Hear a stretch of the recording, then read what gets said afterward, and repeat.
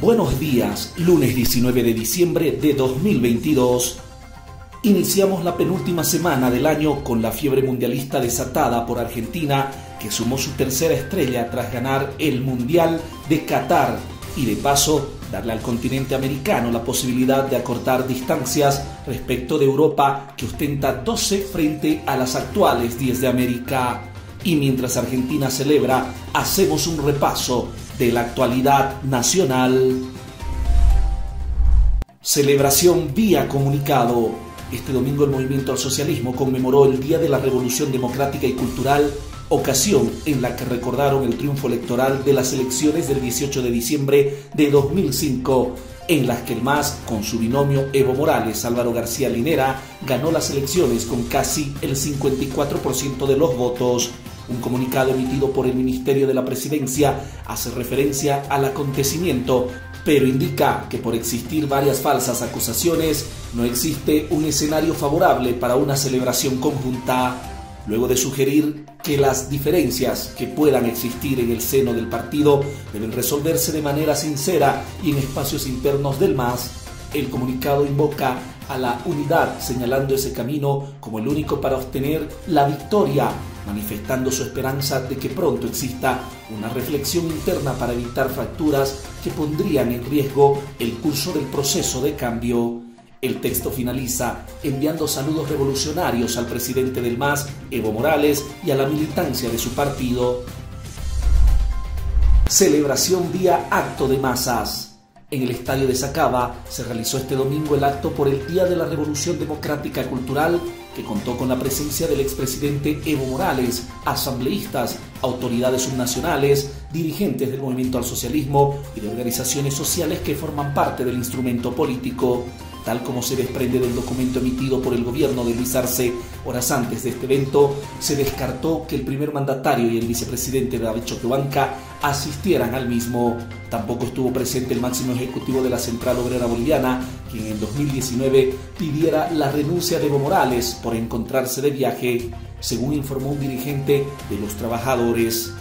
Varios oradores tomaron la palabra en la masiva celebración coincidieron en reivindicar el triunfo electoral del MAS en 2005 a la cabeza de Evo Morales, exigieron lealtad a su partido y manifestaron la necesidad de mantener la unidad de su instrumento político para evitar cualquier amenaza de las fuerzas de derecha y de los políticos neoliberales que ponen en riesgo el presente y el futuro de la revolución democrática y cultural. En su intervención, el expresidente Evo Morales aseguró que quienes son radicales son conservadores, patrias y están con el enemigo, recordando que el masista es anticapitalista, anticolonialista y antiimperialista. Pidió que en aras de la unidad se deje de hablar de renovadores y apartando a los militantes antiguos. Pidió al gobierno no derechizarse ni tolerar la corrupción, demandando que sean echados los funcionarios denominados pititas pidió justicia por los hechos de 2019, aseguró que las candidaturas del MAS para el 2025 se definirán un año antes de los comicios y pidió mantenerse unidos y nunca rendirse. En memoria de Villarruel y Buch, durante la ceremonia de graduación de los nuevos oficiales de las Fuerzas Armadas, el presidente Luis Arce les recomendó seguir el ejemplo de Gualberto Villarruel y Germán Buch, militares comprometidos con las clases populares, alertándolos sobre la existencia en el país de élites que se sienten superiores por el color de su piel o por sus apellidos extranjeros. Arce exhortó a los nuevos oficiales a asumir la defensa de la soberanía del Estado, la Constitución y la democracia frente a las élites antipatrias que todavía hoy reproducen los peores vicios como el racismo o actúan con la idea de sacrificar la integridad del país como si se tratara de un capricho. No olviden que ustedes vienen del pueblo, sus familias son parte del pueblo, siempre recuerden sus raíces y sean dignos herederos de los militares patriotas, les demandó el presidente Arce. Cuellar, fiel al desmarque, conocido por sus repentinos devaneos y cambios de opinión según la ocasión, Vicente Cuellar, rector de la Universidad Pública Cruceña, esta vez cuestionó la anunciada metodología según el cual el Comité Cívico pretende definir la relación política de Santa Cruz con el Estado boliviano. Al respecto, Cuellar propuso trabajar en un nuevo modelo inclusivo y con visión de país replantee la relación de la sociedad civil con el Estado, a diferencia de lo que busca la propuesta anunciada por Rómulo Calvo, que se refiere solo al departamento de Santa Cruz. Según Cuellar, existe un pequeño lapsus desde el título de la propuesta, ya que Santa Cruz es parte del Estado boliviano. Habrá que ver cuánto tiempo resiste este cuestionamiento de Cuellar, considerando que fue emitido apenas este sábado. Habemos presupuesto 2023. Este fin de semana apareció publicada en la Gaceta Oficial la Ley del Presupuesto General del Estado para el próximo año. Luego de intensos debates y fuertes tensiones en el seno del partido gobernante, la norma finalmente fue sancionada de manera rápida por el Senado y promulgada por el presidente Arce. Cabe recordar que la ley financiera prevé un presupuesto total agregado de poco más de 317 mil millones de bolivianos, mientras que el consolidado asciende a cerca de 244 mil millones de bolivianos siendo superior un 3,8% respecto de la gestión 2022. Se prevé un 10,1% para salud y un 10,8% para educación, estimándose un crecimiento del PIB de 4,86, una inflación de 3,57% y una inversión pública superior a los 4 mil millones de dólares.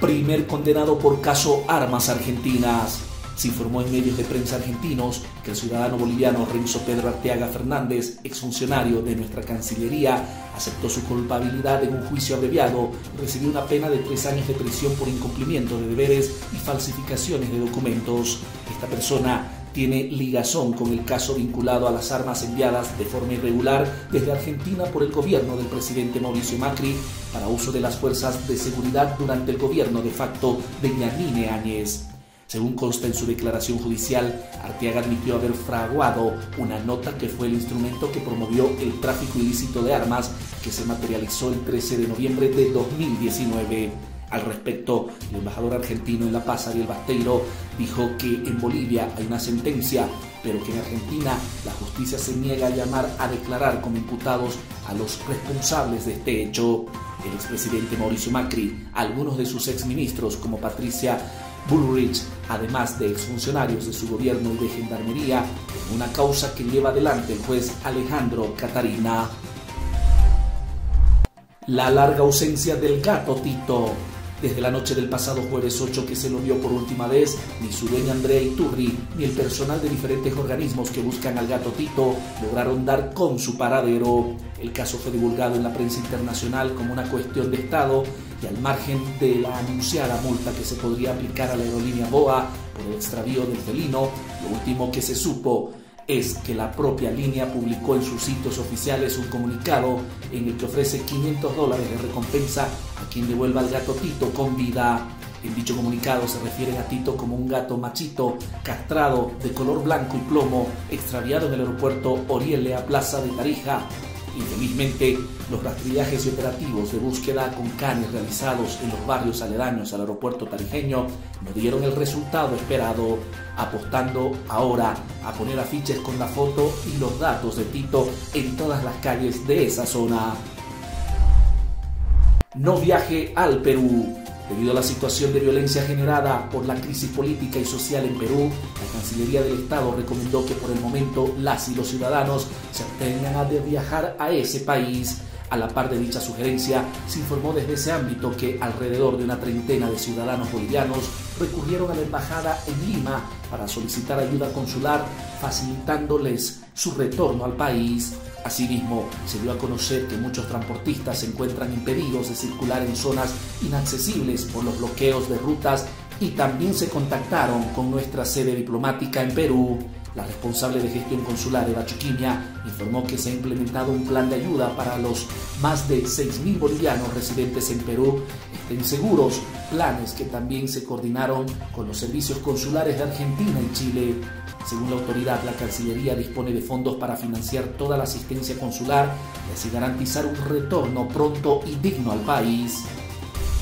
En el mundo sigue el drama en Perú con el foco de la mediática peruana puesto en el Mundial de Fútbol, resultó dificultoso actualizar datos de lo que aconteció este fin de semana en la crisis política y social que vive el Perú. Hasta el sábado, las autoridades del Ministerio de Salud confirmaron la muerte de 24 personas, 6 en Apurimac, una en Arequipa, 3 en La Libertad, 2 en Cusco, 3 en Junín y 9 en Ayacucho. Del mismo modo, se informó de 244 personas que fueron dadas de alta tras ser atendidas en hospitales por heridas de menor gravedad, mientras otras 77 se encuentran hospitalizadas con cuadros de diversas complejidades clínicas. Según testigos, las manifestaciones callejeras se acentuaron luego de que el gobierno dictara el estado de emergencia y el toque de queda, con más bloqueos de rutas y resistencia a los embates de los uniformados, sobre todo en Cusco y Ayacucho y mientras la presidenta Dina Boluarte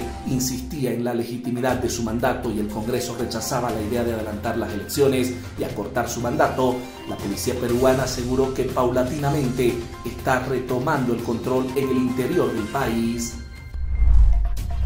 Y en los deportes, hegemonía del Olímpico Chabambino. Una semana después de que las damas obtuvieran el título nacional de voleibol en La Paz, el fin de semana los varones del Club Olympic también gritaron campeón luego de ganarles en la fecha final a sus paisanos de San Martín por 3 sets a 0. El torneo disputado a grada llena en el Coliseo José Villazón de Cochabamba fue dominado por los clubes locales que se quedaron con los cuatro primeros lugares, relegando a los últimos puestos a UTEPSA de Santa Cruz e Ingenieros de Oruro este último que descendió de la Liga Superior de Voleibol luego de sufrir cinco derrotas consecutivas. De este modo, Olympic se queda con el bicampeonato en la rama varones y ratifica el gran momento de la institución Cochala en la principal categoría de voleibol nacional.